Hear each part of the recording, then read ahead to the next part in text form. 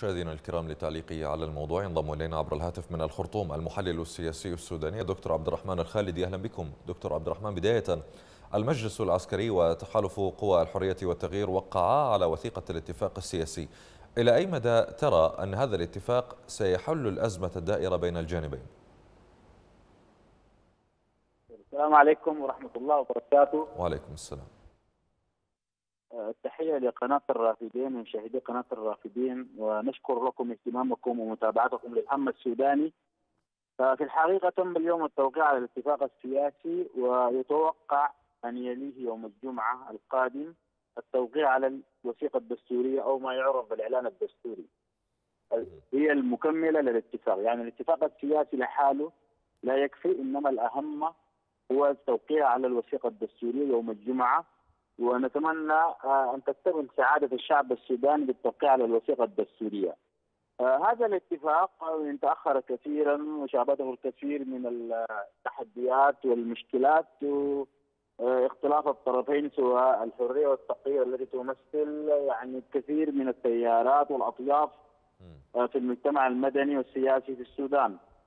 آه هذا الاتفاق آه شمل يعني معلوما إنه آه شمل آه خمسه فصول رئيسية يعني اشتملت على على أو سمي يعني سمي بالاتفاق السياسي لإنشاء هياكل ومؤسسات الحكم في الفترة طيب. الانتقالية المحددة. بما تفسر اذا تحول موقف المجلس العسكري الرافض للتفاوض وهل من ضغوط مورست عليه للعودة إلى طاولة الحوار كما تعتقد؟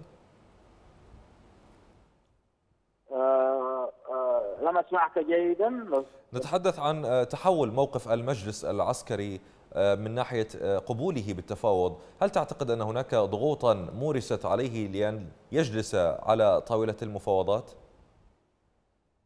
بالتأكيد إن هنالك يعني كثير من الضغوط سواء كانت الضغوط من الوسطاء في الاتحاد الأفريقي أو الولايات المتحدة الأمريكية تعلمون أن دونالد بوست مبعوث الرئيس ترامب موجود في الخرطوم طيلة الأيام السابقة.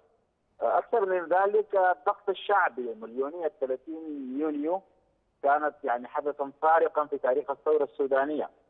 فبالتالي كل هذه المقتضيات اجبرت المجلس العسكري أن يعود لصوت العقل ويتحرك في اتجاه التفاوض مع أن هذا الاتفاق لا يلبي حاجة الثوار 100% ولا يلبي حاجة القوى التغيير وبعض تيارات القوى التغيير عارضت هذا الاتفاق.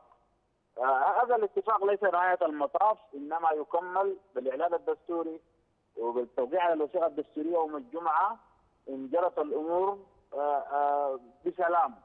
أكثر من ذلك حتى وإن تم التوقيع على الوثيقة الدستورية هنالك يعني الكثير من التحديات ما بعد الاتفاق. اللي هي التوافق والعمل بين الشريكين كجهة عمل واحدة التوافق والانسجام الإداري لخدمة تلبية يعني رغبات الشعب الأهداف التي خرج من أجلها الملايين في السودان وساروا على النظام البائد محاربة الفساد الاهتمام بالملف الاقتصادي بمعيشة الناس وأحوال الناس بناء علاقات خارجية جيدة تعلمون أن 30 عاما من حكم النظام البشير السابق سادت تشويه كبير جدا في العلاقات الخارجية للأوضاع الداخلية في السودان. فالحكومه الانتقالية ليس الطريق أمامها وردي إنما هنالك الكثير من التحديات والصعوبات.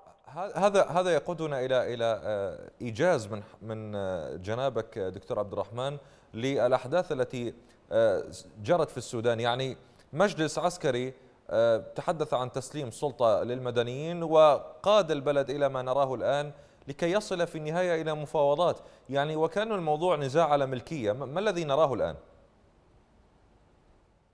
والله طبعا الواضح إنه المجلس العسكري في أول خطاباته يعني أكد على تسليم السلطة للمدنيين وللشعب لكن تراجع ونكف وسبب كثير من الاحتقان السياسي في البلاد. كله تأخير يوم هذا الموضوع يسبب يزيد من نار الاحتقان. تعلمون في اليومين الماضيين حدث الكثير من الأحداث في المناطق الطرفية والولايات الطرفية. تم حرق إحدى مقرات القوات الدعم السريع. وتم يعني كثير من الاشتباكات في بعض المناطق الأخرى. أسقط فيها دماء ومات فيها بعض الشباب.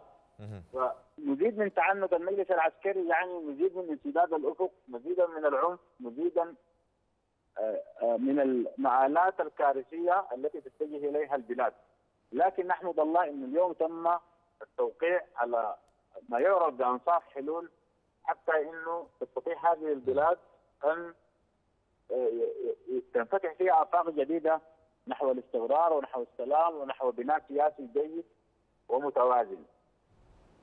دكتور عبد الرحمن الخالدي الكاتب والمحلل السياسي كنت معنا عبر الهاتف من الخرطوم. شكرا لك.